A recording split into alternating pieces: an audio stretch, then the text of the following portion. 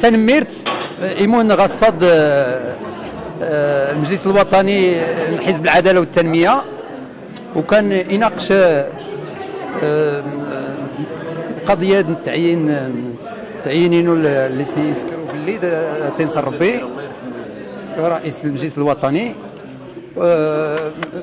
اللي حيناقش سواء كل الأعضاء المجلس الوطني اتفقا الأخير باش اولا هاد حيين جلاله الملك في المبادرة باش الالتزام بالمقتضيات الدستورية اللي ديوي الدستور.